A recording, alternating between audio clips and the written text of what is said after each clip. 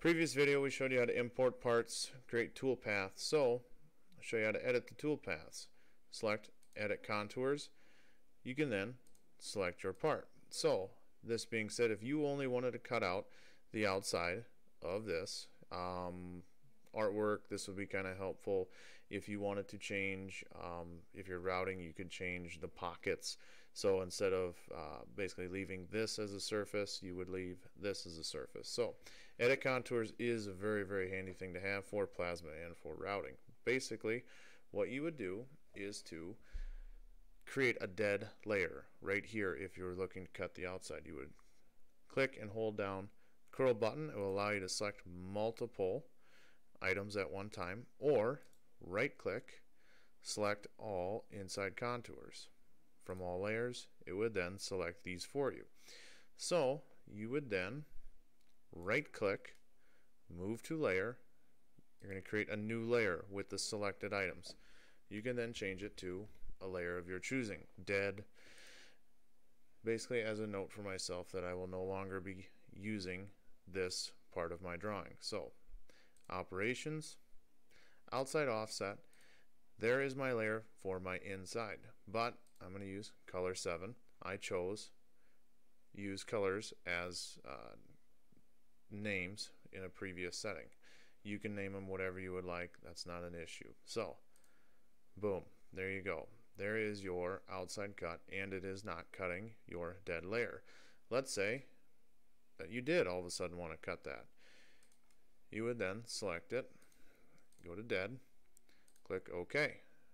But as you can see, it is now an outside offset. To change that, double click and change that to inside offset.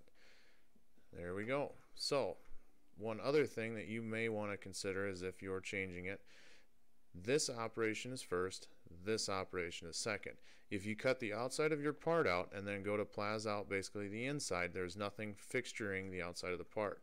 So you essentially want to delete that operation, create a new one with layer 7 outside offset. There we go. From here, I think I want to edit my start point. Not an issue. Edit start point I need to get onto the correct layer and then you can put it wherever you see fit. If these parts were nested very, very tight together, you may want to tuck it away in a position such as so or so. And that will allow you to keep your parts tighter together. So, continuing on.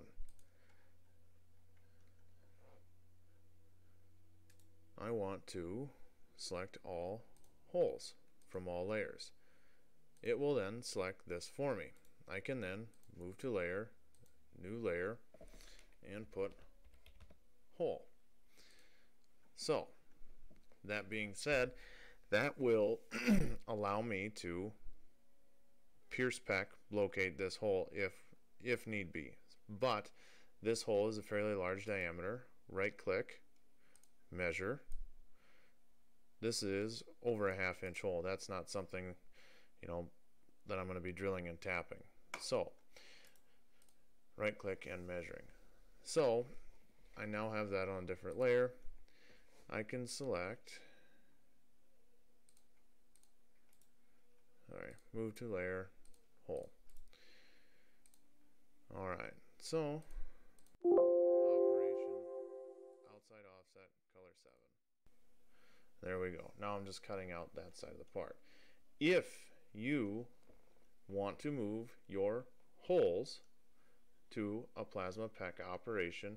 That will be further discussed in the next video. But access hole covering, I want to curl, select, select, make my way around, or I can also draw a box.